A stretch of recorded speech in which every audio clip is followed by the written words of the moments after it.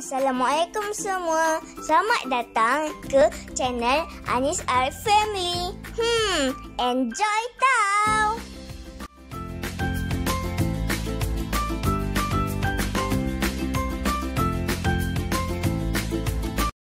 Assalamualaikum semua. Hari ni uh, Mami nak tunjuk macam mana Mami masak makanan uh, berpantang lah yang paling mudah Senang je masak dalam masa lebih kurang 5 minit macam tu. Okey, yang ini apa yang mami buat? Sup chicken ball kita campur dengan sawi, carrot dan tomato. Memang yang ini ikut pada orang jugalah. Tomato ada setengahnya makan masa pantang tapi mami makan. Makan dan sesuai dengan badan lah. Okey. Memang sedap ni. Tak sempat makan dengan nasi sebab baby dah riau. Ha, ratah dululah. Kan isi perut. Okey, jom kita tengok bahan-bahan. Ni mami guna chicken ball daripada ayam bismi. Okey, sawi secukupnya. Dua biji tomato dah dipotong empat. Carrot satu biji. Bawang merah besar satu biji. Dan garlic yang dah memang mami ready siap. Hancurkan blend siap-siap.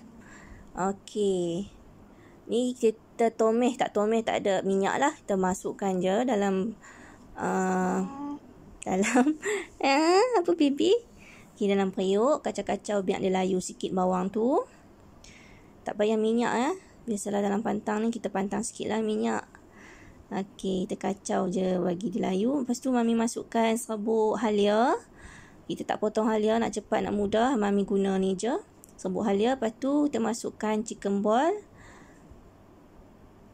Uh, beku lagi chicken ball tu. Tapi tak apa kita akan masuk dalam periuk nanti. Dia ni lah dia lerai lah sendiri. Jadi kita kacau dulu. Ha, kacau biar agak-agak nampak bawang tu dah layu. Nanti kita masukkan lah sawi. Ok kita akan masukkan dulu batang sawi nanti. Batang sawi dia lambat kan dia keras sikit Okey.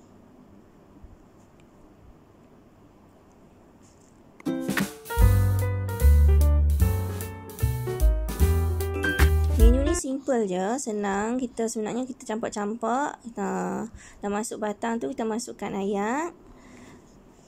Ayak ni ikut sukalah kan? Nampak macam sesuai dengan bahan-bahan tu kalau tak cukup nanti kita tambah. Ha tu dia. Ada batang sawi yang tak potong. Ha macam itulah masak kalut-kalut dengan baby ni. Ha tapi yang ni menu yang senang lah.